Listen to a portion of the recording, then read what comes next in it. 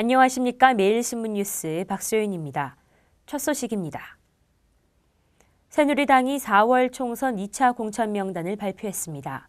대구 경북 현역 의원 27명 가운데 6명이 포함됐으며 전략 공천 지역도 8곳으로 늘어났습니다. 새누리당이 4월 총선 2차 공천 심사 결과를 발표했습니다.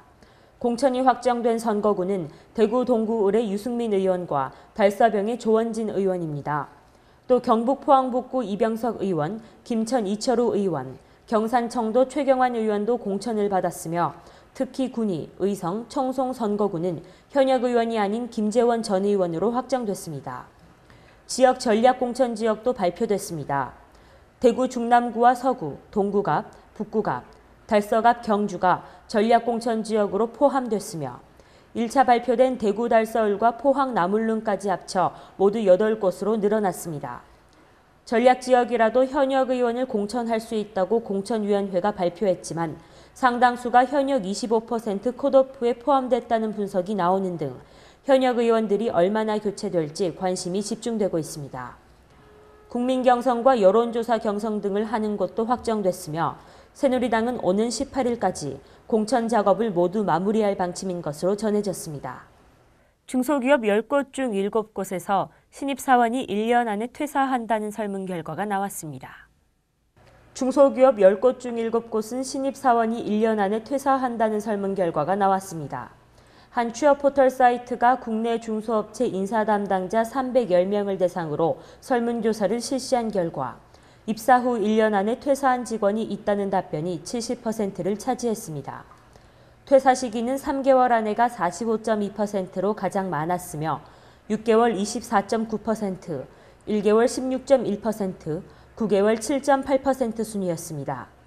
인사 담당자들은 신입사원의 조기 퇴사 원인으로 인내심 부족 52.3%, 직장 생활의 이상과 현실의 큰 차이 43.2%, 조직 적응력 부족 32.3%, 낮은 연봉 등 좋지 못한 대우 13.9%로 꼽았습니다.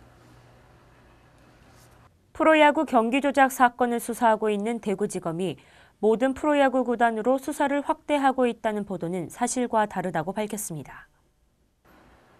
프로스포츠 경기 조작 사건을 수사하고 있는 대구지검이 야구 경기 조작과 관련해 모든 구단으로 수사를 확대하고 있다는 언론의 보도는 사실과 다르다고 밝혔습니다. 대구지검은 프로야구 경기 조작 수사는 의혹이 제기된 사안에 초점을 맞춰 수사하고 있으며 전 구단으로 수사를 확대할 계획은 없다고 말했습니다. 그러나 현재 수사 중인 사안을 제외하고 경기 조작이 있었다고 인정할 만한 단서가 나온다면 추가 수사를 할 수 있다고 덧붙였습니다. 대구 경북이 두 지역의 협력을 위해 상호교류 특강을 개최했습니다. 김관용 경북도지사의 특강에 이어 김범일 대구시장이 경북도청을 방문해 강연을 열었습니다. 김범일 대구시장이 경북도 공무원 400여 명을 대상으로 특강을 가졌습니다.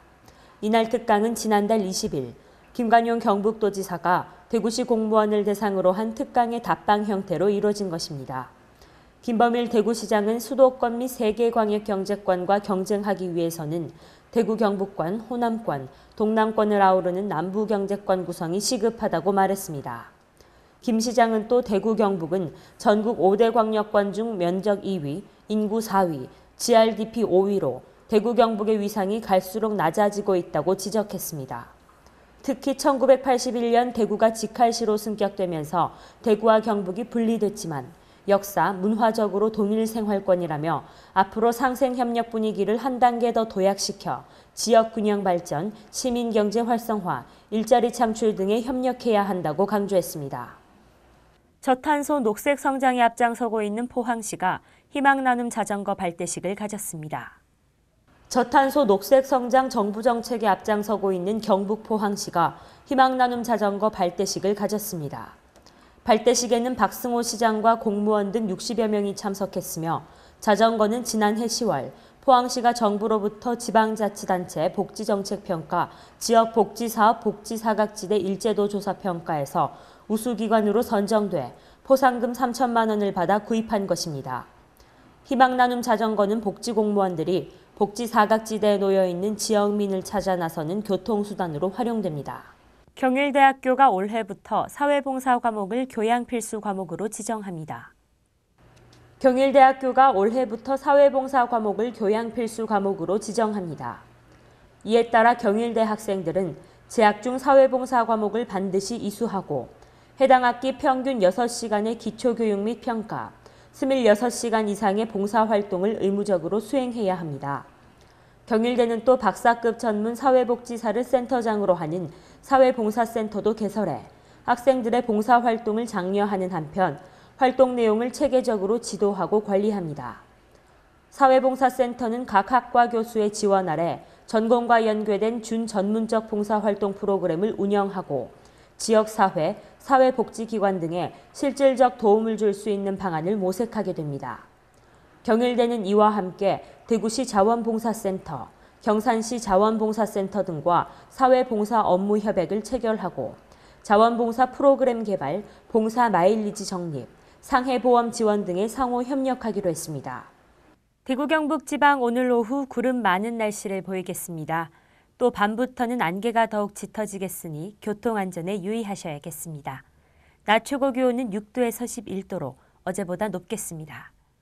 이상으로 3월 6일 매일신문 뉴스를 마치겠습니다. 시청해주신 여러분 감사합니다.